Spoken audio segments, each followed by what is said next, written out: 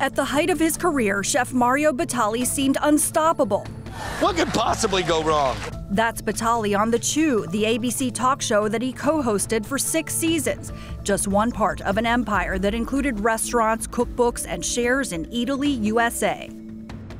Mario Batali was a superstar chef. He was a larger than life persona. You could find him on TV, but he also was a serious chef. But according to industry insiders, his star power belied disturbing behavior. An Eater investigation published in 2017 featured allegations of sexual misconduct spanning decades. It included a response from Batali. According to Eater, Batali did not deny all the allegations, saying that they match up with ways he has behaved. The accusations halted Batali's career and sparked an industry reckoning, says Boston Globe restaurant critic Devra First. This had been one of those open secrets in the hospitality industry.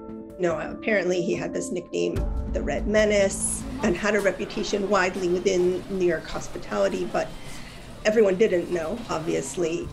More people came forward with accusations against Batali. One of them was a woman in Boston where Batali had shares in Eataly, the upscale Italian market.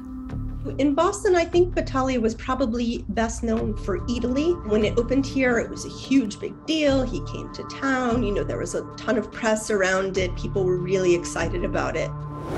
The woman crossed paths with Batali in a restaurant next to Eataly in Boston's Back Bay.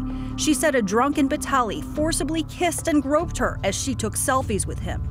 Months later, in May of 2018, the woman's account appeared on Eater's website with similar accusations from other women. After the story ran, the woman who revealed her name, Natalie Tene, went to police.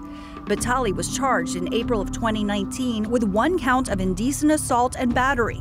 It's the first criminal charge he's faced in connection with any of the allegations. The NYPD closed cases concerning Batali due to insufficient evidence. Batali's lawyers say the photos will show that he did not assault Tene. They also claim Tene's text messages to friends reveal a financial motive. Batali faces up to five years in prison if a jury convicts him.